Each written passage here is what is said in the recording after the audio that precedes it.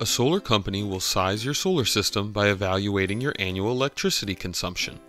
Since your energy usage will fluctuate monthly, you will want to find your average monthly usage over the course of a year. Typically, you'll want to design a system to cover all of this electricity usage. Since the production of your system will also fluctuate monthly, you'll want to find that monthly average your system produces as well. By using these averages, the net of your usage and production will cancel out at the end of the year.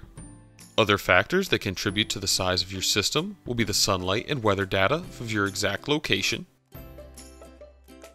the shading on your roof, your roof pitch, and the orientation of your system as it relates to the sun. All of this will determine how much sunlight your system can collect throughout a day and over the course of a year. The size of your house or roof is only a factor if you don't have any electric data to go off of, as the data provides a much more accurate way to size your system.